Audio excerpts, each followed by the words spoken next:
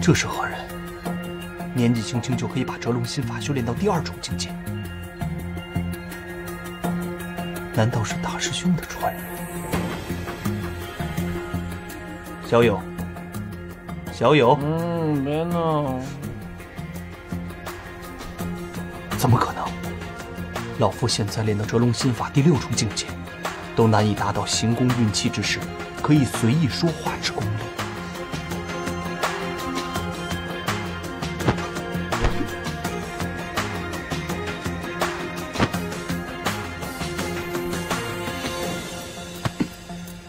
小友醒来，小友啊干什么呀？师傅的师傅，你怎么进来了？哦，我是不是睡了你的床啊？我先走了哈。啊啊！呃你是何人？跑到我天龟洞来做什么？嗯，刚才你说师傅的师傅是什么意思？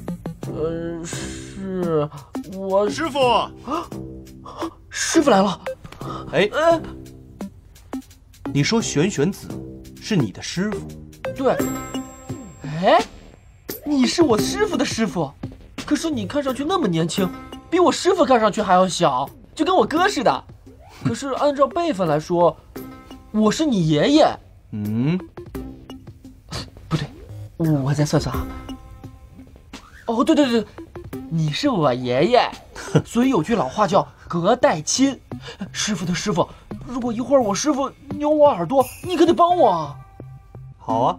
那我先躲起来啊。哎，进来吧。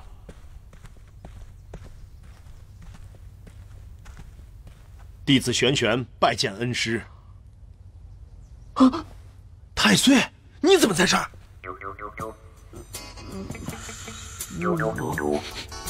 小兔崽子，快快出来，叩见师祖。哦，那要是徒弟出来，师傅，你可别再揪我耳朵了。少废话，快出来！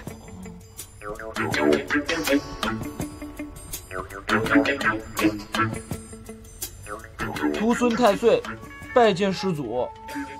玄玄子，弟子在。这可是你收的弟子？呃，是，他，他叫太岁，是弟子收的徒弟。果然是一块璞玉啊！呵呵，玄玄子，你收了一个好弟子。来，啊本门的折龙心法，你传他几年了？折龙心法，嗯，啊，未蒙师傅恩准，弟子岂敢将师门绝学传授于他？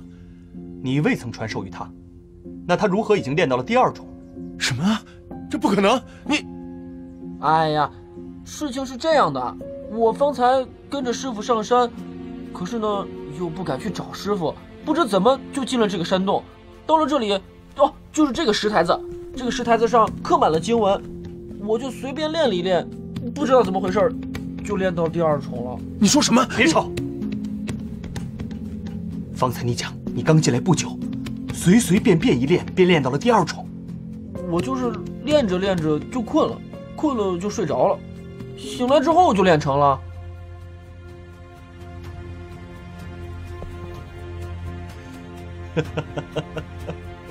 哈哈哈哈哈哈。师傅师傅，师祖是不是疯了？秀头。哎，旷世奇才啊，你可知道修炼我本门的折龙心法？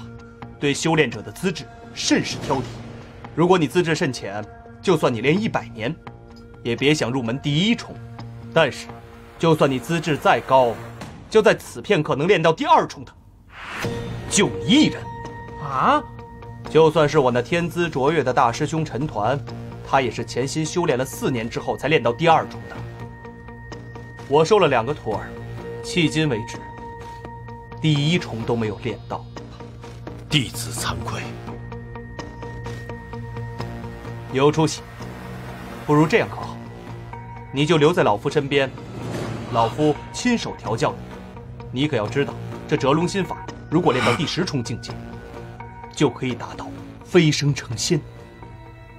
老夫非要亲手培养出第一个神仙来。我们去了空桑派和芒林村，所获得的线索就这么多。嗯，荧光，你平时行走江湖，可认得这个手诀？荧光，荧光，那，这个手诀真是毫无印象。冲玄临死之前这么做，必有用意。难道他是想告诉他人什么？如果是想告诉别人什么，无非有两点：其一就是告诉别人凶手是谁；这其二嘛，就是他隐藏了一个重大秘密，秘密甚至大于他的生死，以至于就算他死，也不愿把这个秘密埋于地下。然则，不管他想告诉他人凶手是谁，亦或者是说有什么大秘密，光凭这样一个手诀，哈哈哈，我们什么都看不出来呀。这个手诀是此案最大的关键。宁王、文举，你二人分头行动，去拜访明道高僧。我相信一定有人识得这个手诀其中的含义。是。这究竟是什么鬼呀？这是，哎。